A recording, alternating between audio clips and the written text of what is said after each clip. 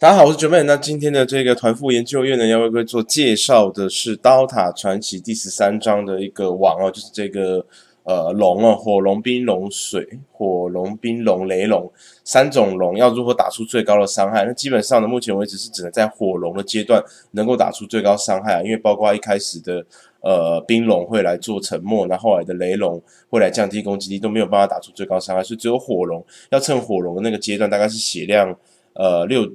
大概是中间的时候呢，要来去才有机会可以达到最高伤害。那魏哥稍微示范一下，因为我现阶段的台服版本换刺啊，还有觉醒的拍拍选也出来了，所以为各位作为示范一下，说如何可以打到超过三百万。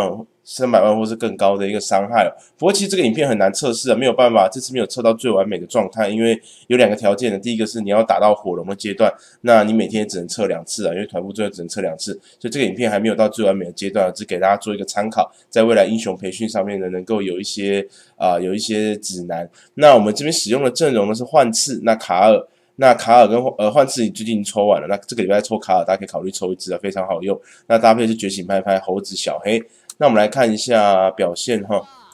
这边开场是火龙的状态，基本上火龙才有机会打到最高伤害。那你要打到最高伤害，要破三百万的伤害，基本上呢，开场一定要冰冰冰，就是这个卡尔自己本身要打出冰冰冰的。刚刚这两个冰都是猴子，卡尔这边第三颗是他自己打出来的。开场有一个冰，基本上伤害才最高。这边有两个冰哦，然后马上开大，优先最优先顺序最早开大的是幻刺，幻刺有大马上开，不用等其他人。那其他人的话，最好是两个在开大。你看猴子在等游侠的大局，这边四个一起开大。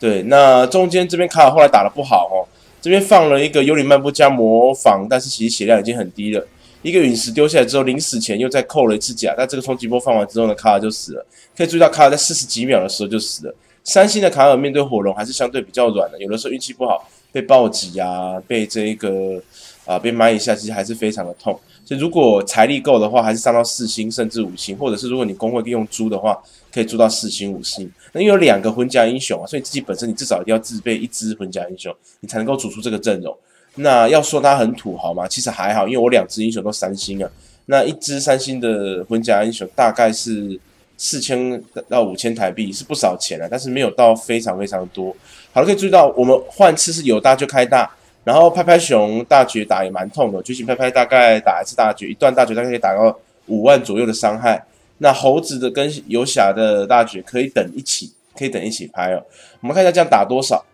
这样打大概两百九十八万，但是可以注意到我们的这个卡尔真是很早就死了，而且后面几段我觉得接的不够好。那基本上呢，这样子打要超过三百万，我觉得是还 OK。那给大家看一下我们四五七的前三名，我刚刚这样打的是第三名的。那前三名第一名一样一样的阵容是打三百三十几万，非常的高。那主要是他的是五星的换车，而且已经觉醒了。那不过它卡尔也只有三星了，所以有的时候看卡尔如果没有被暴击，可以活比较久的话，其实可以多打到一到两次的一个 combo，这个还是比较还是比较实用的哈，还是比较实用的。那以上是这一次对团副十三章一个火龙的介绍，因为一直有人希望我在换刺之后能够来做介绍，说新的换刺打出来的伤害大概是什么程度。那当然我知道这个伤害不是到最高的一个程度啊，只是因为真的。这个要测试比较难啊，所以基本上先放出来给大家看一下。如果有更好的搭配的方法，因为我最近我的一个呃狙击手也要觉醒了，那狙击手觉醒之后，如果有其他团副的一些伤害影片，也会来这边为各位做分享。我们就下次见喽，拜拜。